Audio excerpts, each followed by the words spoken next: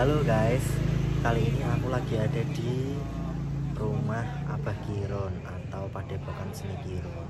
Kali ini sedang ada acara suronan dan kebetulan sedang ada pameran keris, akik dan lain-lain. Uh, yuk ikutin videoku. Kita kasih beberapa cuplikan video dan koleksi keris yang dipamerkan di sini.